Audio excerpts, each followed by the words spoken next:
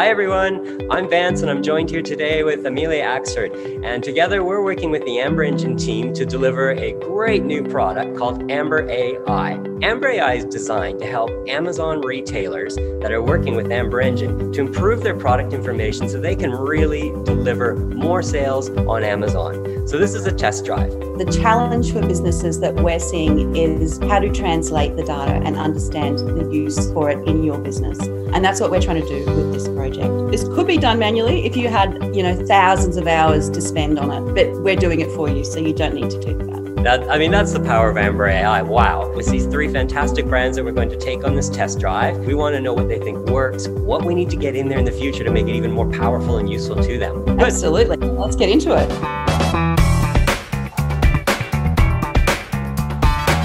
So this is a screen that um, is still being developed, and this is basically your, your, your homepage or your dashboard. We're gonna give you an oversight of everything that you've got in um, Amber Engine that's come into Amber AI, that Amber AI is looking at.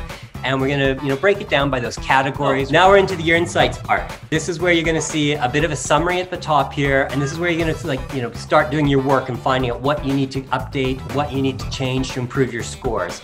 We give you um, some information around what your overall average score is. We then break it down by those scores, and then we'll give you some, some stats as well. And this summary is just easily accessible on the top of the page all the time when you're in your insights area. And this is all driven around Amazon only. Yes. That's correct. The first cab off the rank, if you like, is Amazon, but we will be looking at doing the other platforms after this pilot. So let's jump into one of them and see, you know, see how it all works here. So I'm just gonna, you know, choose the the um, bar stool here, and it's, you know, it's got a 2.0, so that means there is probably quite a lot of room to improve on that and um, drive drive better results. All we have to do is click view. So we've got here um, some information for you on the, what the top 100 uh, are doing, and you can see they've got um, words in there like wood and metal. So that's suggesting that you know there's opportunity if you were using those words in your in your title here, your item name, uh, that that would improve your score. And you can see here too, it's reactive as well to, you know, I put these titles in, it recognizes it right away that we've now used two of them. Of course, the human element's really important here. You know, you guys are the best to judge whether you should be using the word counter in here. So I've added in bistro there now, so we've used one of those energizing concepts.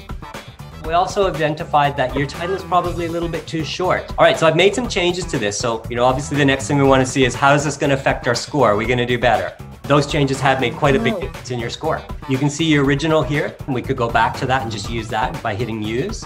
Um, and you can see the new current version here, which is your highest score one. Um, and so we want to save and resolve it because this is our final one. Pretty much as awesome as it's gonna get, really. So you can see now, um, you know, we've got some other insights on this that we can improve. Now, um, like we said, this is still in development, so each one of these you want to improve the score on. There's still some work to do in the images because we've got some red dots here and some stuff on the product description that we can improve and those bullet features as well um, jump into any one of these and it breaks it down into each of these. You can remove some of these if you want to get rid of them and you know maybe you need more, maybe you need less. Sometimes you actually want to look at the overall product listing as well.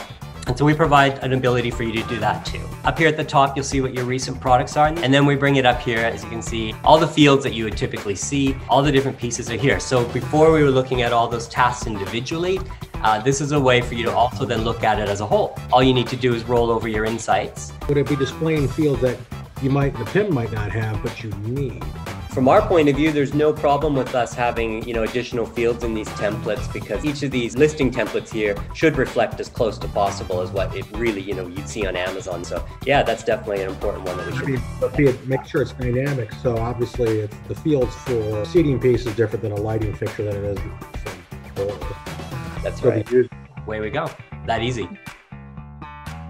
Like anything, we want to iterate on the product and improve it over time. There's a lot of data there. We have to surface what matters. You can see into the unstructured data and say, what is it telling me? All right. Well, thanks very much, Emil. I'm really glad you could join me for this recap on what we're doing with um, Amber Engine and Junction AI. We're helping the Amber Engine users understand best practice so they can employ it in the fastest and easiest way in their businesses to make a difference.